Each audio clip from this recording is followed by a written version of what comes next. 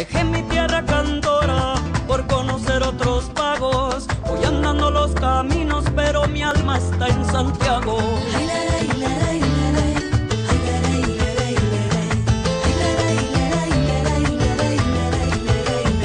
Hola país, bienvenidos hombres de campo. Estamos en Benito Juárez. Estamos con dos hermanos, con un ingeniero y con un veterinario. Estamos con Juan Cambio y con Miguel Cambio. Eh, una historia como tantas de campo familiar que a fines de los 80 lo reciben y que hoy realmente es una empresa modelo, es una empresa que ha diversificado, que ha agregado producciones a la cadena y lo que era cría y de lo que era algo de grano, hoy hay faena, hay venta de carne aquí mismo en la zona, hay una planta de balanceados, hay un engorde de cerdos, hay feedlot. A ver, tiene la misma edad, así que empiezo por cualquiera. Alguien se ofendió y alguien se puso contento. Miguel, vos sos el veterinario. Exacto, sí, sí, sí, sí. Bueno, esto comienza así, familiar. Sí, sí, en realidad esto empieza, eh, es una empresa familiar, empieza con nuestros abuelos, eh, nuestro padre, y nosotros tomamos las, las, riendas allá por el año 1987, cuando fallece nuestro padre. Y bueno, a partir de ese momento, bueno, ya en esos años también los dos terminamos nuestras carreras universitarias y nos dedicamos casi de lleno al, al campo, a la producción y a tratar de ir mejorando todo lo que habíamos recibido de, bueno, de nuestros abuelos y nuestros padres. ¿no? Decime, Juan, ¿en qué momento se produce el clic para, bueno, cambiar? ¿Qué pasó? ¿Una circunstancia económica? No, yo creo que fue dos cosas. La, la primera fue una cuestión de, de, de, convicción de que teníamos que diferenciar lo que hacíamos, de que no todo es lo mismo. Eh, no, uno veía que criaba los animales, buscando ya empezando con genética, con, eh, con engordes rápidos, en esa época era todo a pasto. Y, bueno, eh, y de pronto cuando ibas a consumir la carne, un día comías una carne dura, otro día una carne blanca, eh, tierna, sabrosa, no sabrosa. Entonces, bueno, nos propusimos y le planteamos, eso fue lo que hicimos, plantearle a, un supermercado, el supermercado de Juárez, el, único de Juárez, plantearle, no, nosotros te probemos de la misma carne, la misma calidad durante todo el año y nosotros era una responsabilidad nuestra tener siempre el mismo producto. Y bueno, empezamos, vamos a cumplir 20 años con esa idea que la tomó el, el supermercado y, bueno, que hoy seguimos y, bueno, contentos con eso. Eso fue lo primero que hicimos diferente. O sea, en ganadería ya cambió algo, ya se agregó la faena. ¿Y el grano que tenía su boque para complementar o no, eh, eh, en qué se transformó? Eh, en parte se transforma en carne en nuestros propios campos y en otra gran parte se transforma en alimento balanceado. O sea, han hecho ya una, una planta. Sí, sí, ya hace siete años que estamos con esta planta de, de alimentos balanceados para bovinos y, y cerdos, eh, utilizando eh, parte de nuestra producción de granos y, bueno, comprando la otra parte de granos que, que no alcanzan. Juan, 1987, ¿cuántas hectáreas, cuántos animales, cuántos empleados?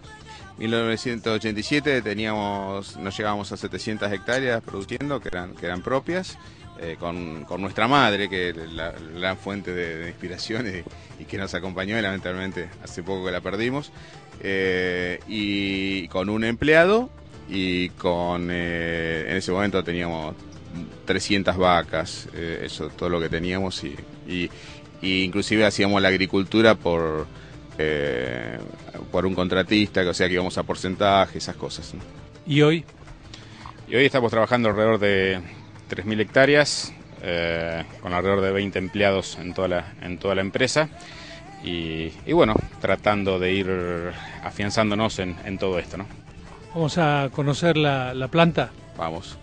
Vamos, aquí estamos con los hermanos Cambio, en Benito Juárez, hombres de campo.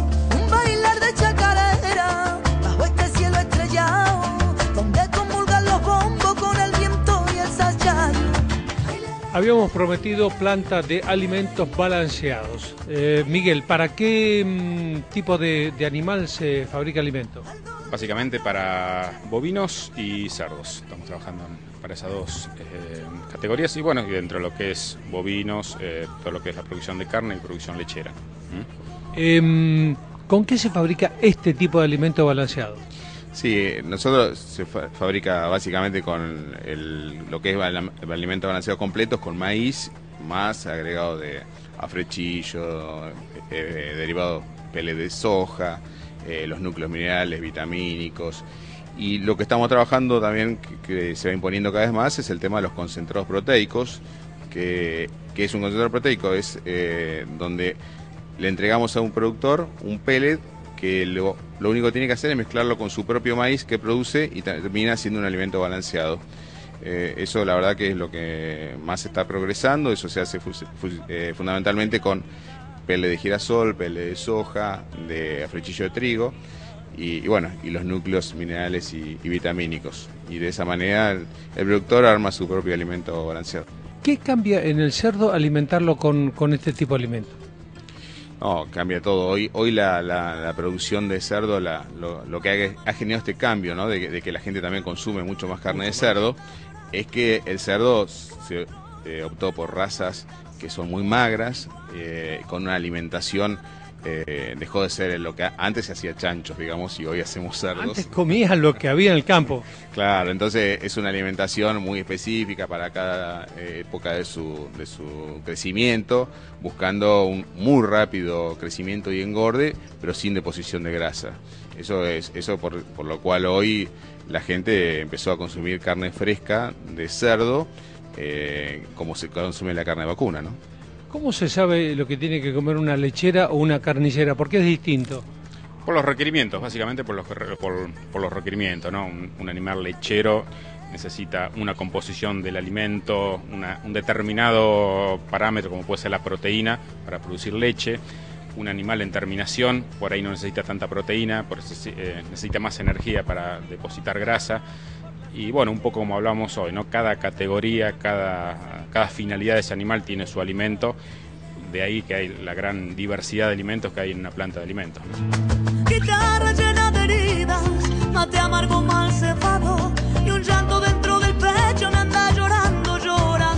Seguimos en Benito Juárez, habíamos hablado de cómo evolucionó el tema de los granos, una planta de alimento balanceado, y cómo evolucionó en pocos años el tema de la carne, de tener una cría de animales y venderlo seguramente. Hoy se ha llegado a que la carne que está aquí atrás es de ustedes.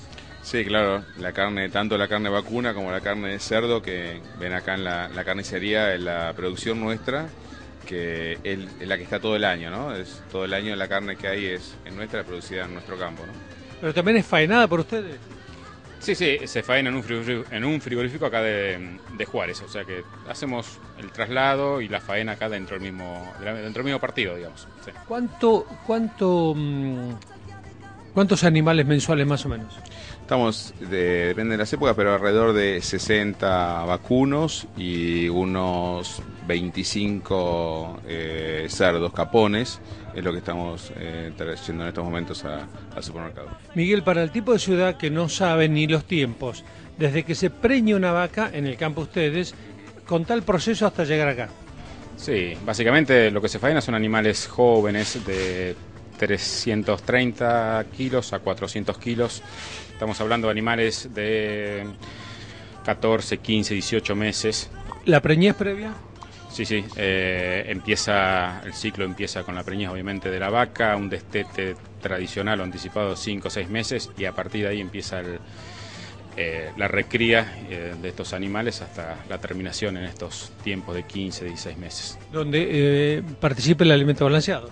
En el final, nosotros hacemos una, una cría que es toda pastoril, la, recría también, y el último toque, que es el que nivela para tener siempre la misma, la misma calidad de terminación, tiene la participación de alimento, pero después todo el proceso es íntegramente a pasto. ¿no? ¿Un proceso que llevó cuánto si sacamos todo junto a la cuenta? Eh, todo el proceso de los animales. De, tiempo. Nueve meses de preñez. Sí, nueve meses de preñez, más 15 meses, eh, sí, dos años. Digo para el que los que cuando se habla mucho del tema de la carne, que un daño a la cadena o un daño a la ganadería no se soluciona en dos días. No, esto es un proceso largo porque uno dice, sí, el día que quedó la preñada de la vaca, pero antes hay que hacer todo lo previo, que es la, de, si vas a hacer la inseminación, vas a buscar el toro. o sea, desde que te pones a, decidir qué, va, qué, padre va a tener ese, ternero que van a hacer hasta el momento de la faena, y ahí sí, son eh, dos años y medio, y, cada, cada, cada cambio que tomes, los resultados son, son muchos muchos años más, más tarde y no se recupera, como de pronto en la agricultura, que de un año haces soja, el otro día a los seis meses cambias y haces otro cultivo. La ganadería son, son procesos largos y, donde hay una mano de obra eh, que es muy importante. ¿no? Eh, nosotros eh, hacemos una, una, ganadería intensiva donde hay mucha participación de la mano de obra, gente que, que se forma, que se capacita y, que está todos los días del año, porque eh, eh, estos procesos es todos los días, los 365 días del año, tanto el cerdo como la vacuna, la ganadería intensiva. Entonces requiere mucha mano de obra, gente que está con la familia en el campo, que vive, eso trae aparejado eh, las escuelas, lo que... Es como los tambos, que después es muy difícil suplantarlo. Es muy difícil, es muy difícil y, hay que formar un equipo que lleva tiempo, lleva años y y si se pierde esa de esa gente capacitada es imposible en, el, mediano plazo volver a, hacer a tener la misma tipo la misma cantidad de producción ¿no? Juan Miguel Cambio aquí en Benito Juárez Hombres de Campo